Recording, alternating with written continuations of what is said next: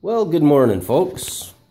I thought I'd do another little video clip of a new radiant heater that I got uh, from a good friend of mine, Jack DeWitt.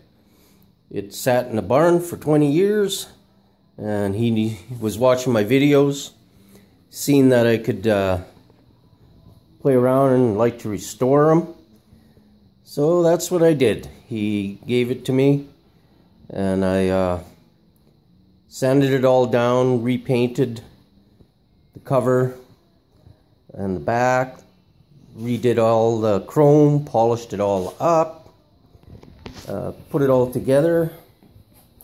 You can see on the back, um, down lower, it's got batteries that are used for a little lighter that pops up and lights the wick. And it works great. It just needed to be the wires needed to be cleaned up and, you know, a few little things. Uh, but I painted it, it's a stove pipe gray in the color. And then the front, if I go right around here, I'll show you. I redid the front in a nice red.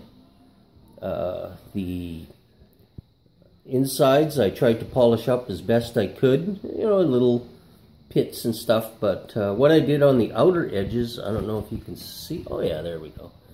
I took sandpaper and uh, just did little circles to give it a kind of a pattern because uh, there used there used to be big scratches there and it looked it looked terrible.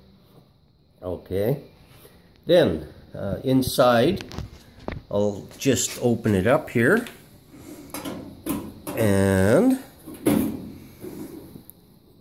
that is the uh, catalytic converter.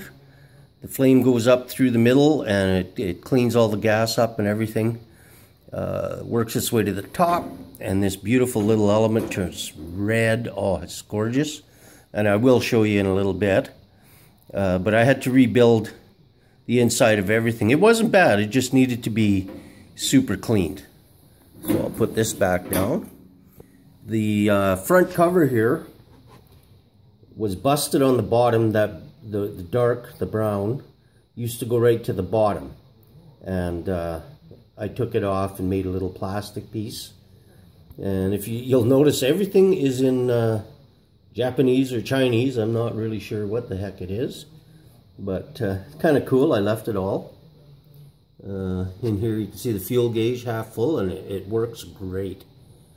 Um, underneath, I'll just pull it out and I haven't quite figured out what it does yet. But there is a little fan.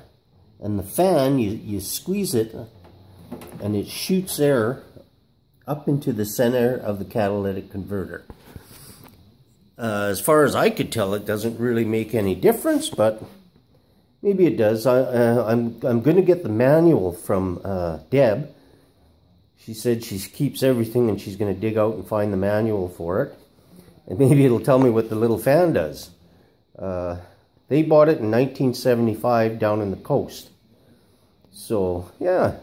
But boy, I'll tell you what. This little puppy really puts out the heat. So what I have done is I'm going to uh, take it and put it in my fireplace. I cleaned out my fireplace, really nice. I'm going to set it in there and light it up and uh, we'll see how it produces heat out of there. It'll look nice and, you know. So I'm going to stop this video and I'll restart it again and uh, show you what it looks like. Okay, see you in a bit.